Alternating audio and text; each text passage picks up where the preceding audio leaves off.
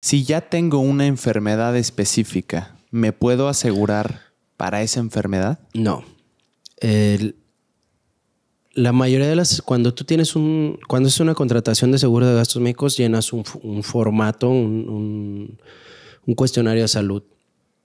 Si, si tú das una preexistencia, aquí también depende de la preexistencia o de la enfermedad que tengas. Es muy diferente decir, oye, me operaron, traigo una placa en el tobillo porque me fracturé la tibia o el peroné y traigo una placa a decir me dio cáncer, diabetes, hipertensión, artritis, enfermedades crónico-degenerativas.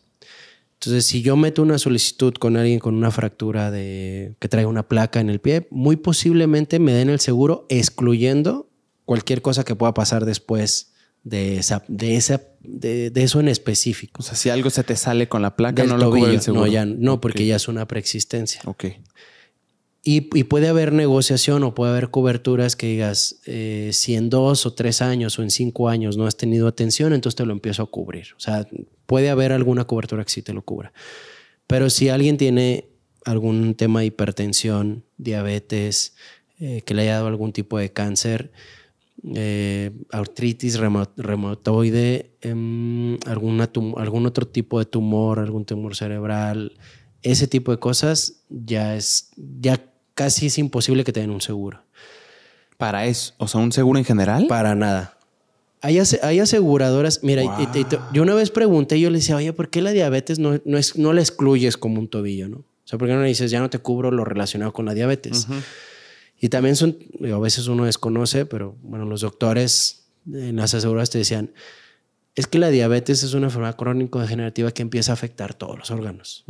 Entonces, si tú me reclamas en 10 años un infarto, yo como aseguradora tengo toda la bibliografía para decir que es por la diabetes.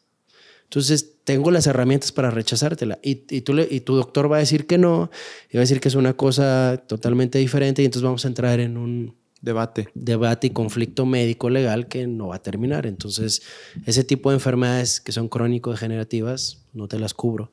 Pero entonces no te dan seguro. No si te dan. tienen? Una persona- Para nada. No puedes decir, oye, sí, pero me excluyes esto. Mira, hay aseguradoras que ya casos muy específicos, a veces sí le entran a revisarlos. En temas de diabetes, en temas de cáncer y en temas a veces de hipertensión.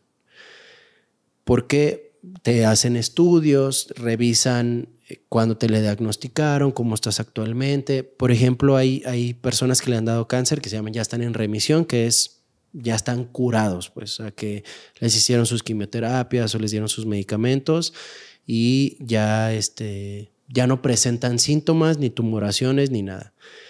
Y, ahí dependiendo también, yo lo, lo poco que he aprendido, pues hay diferentes tipos de tumores en el, en el cáncer. Hay unos linfomas de cierto tipo con diferentes nombres. Entonces, la aseguradora, hay algunas aseguradoras que ya empiezan a revisar y dicen, "Ah, ok, ya estás sano del cáncer que te dio. Vamos a ver qué tipo de cáncer fue, en dónde fue y, y todas las características que, que tuvo. Mm. Y a lo mejor sí te vuelvo a dar un seguro. Y que te vuelva a cubrir el cáncer. Pero si es un, eh, le llaman cáncer metástico o no metástico, que es cuando se invaden ciertos órganos. Entonces, dependiendo del tipo de cáncer, a lo mejor puedes o no puedes acce- acceder a un seguro. Pero de entrada del cáncer es que ya hayas estado curado de un cáncer Ya.